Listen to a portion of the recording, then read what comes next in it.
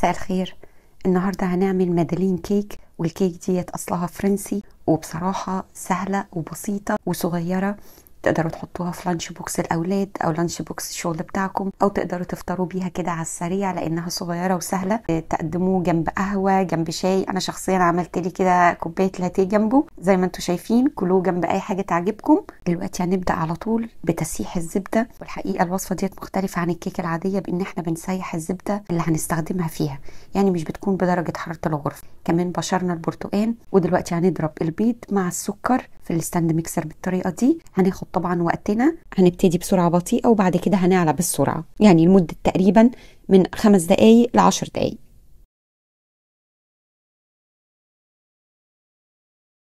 ضفت الفانيليا هبتدي إن أنا أكمل خفق لغاية ما اللون بتاع الخليط يبقى أبيض فاتح جدا زي ما أنتم شايفين. تقدروا تضربوها في الخلاط تقدروا تضربوها بإيديكم وتقدروا كمان تضربوها حتى بالمضرب الكهربائي. خليط الزبدة بتاعي السايح اللي أنا حضرته هضيف عليه عصير البرتقان وبشر البرتقان وهقلبه كويس جدا وأتأكد إنهم اختلطوا كويس مع بعض. هبتدي أنخل المواد الجافة مع بعضها الملح وال baking powder والدقيق.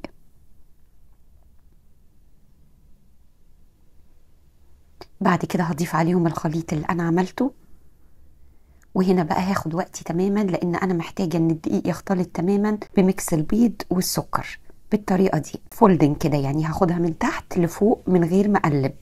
اخدها من تحت لفوق من غير ما أقلب لغاية ما الدقيق كله يختلط بخليط البيض والسكر. خدوا وقتكم خالص. مش عايزين يكون في أي دقيق ظاهر معانا. بعدها هضيف عصير البرتقال بالطريقة اللي أنتوا شايفينها. على مرحلتين. أول مرحلة نص الكمية.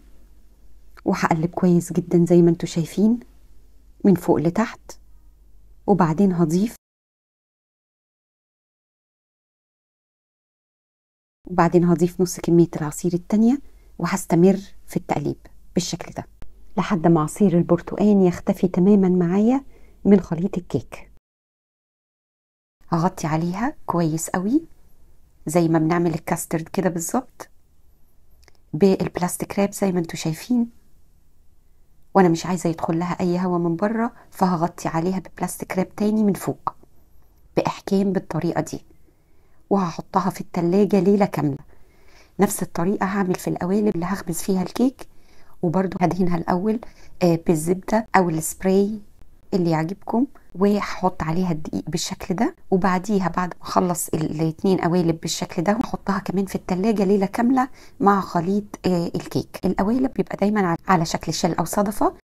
بعد ما خليط الكيك معايا والقوالب باتوا في التلاجة ليلة كاملة طلعتهم من التلاجة. دلوقتي بقى بال scoop بتاعت الآيس كريم أو تقدروا تستخدموا معلقتين مع بعض. هنحط كده في القوالب وطبعا الفرن بتاعي أنا مسخناه من قبل الوقت على درجة حرارة 180 أو 350 فهرنهايت قبلها بنص ساعة.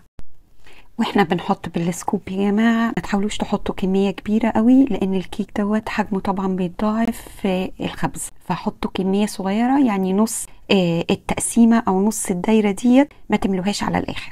بعد ما أخلص كل الكمية هدخلها الفرن على الرف الأوسط لمدة تقريبا من 8 دقايق لأقصى حاجة 11 دقيقة. ما تسيبوهاش أكتر من كده. الكيك ده الوش بتاعه من فوق بيبقى لونه فاتح. زي ما قلنا من تحت بيبقى بني والحواف كمان لونها بني. أنا هنا آه خلاص خلصت خبز الكيك. ده شكل الكيك بتاعي بعد ما طلع من الفرن.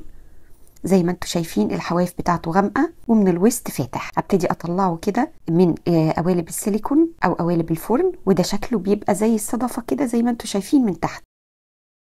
الكيك ده يا جماعة من أسهل الكيكات اللي ممكن تعملوها وحجمه صغير وطري وهش زي ما أنتم شايفين في منتهى الطراوة. حاجة يعني في منتهى الروعة. لو عندكم أولاد صغيرين هيحبوه جدا وكمان صغير وبيدخل في ال lunch box هيبقى سهل عليهم جدا في الأكل. أتمنى يا رب تجربوا الوصفة ديت وتعجبكم. لو عجبتكم ما تنسوش تسيبوا لي like على الفيديو وكمان تسيبوا لي رأيكم في ال comments ولو لسه ما اشتركتوش في القناة أتمنى إن أنتوا تشرفوني بالاشتراك. أشوفكم إن شاء الله في فيديو جديد وأنتم بألف خير و bye bye.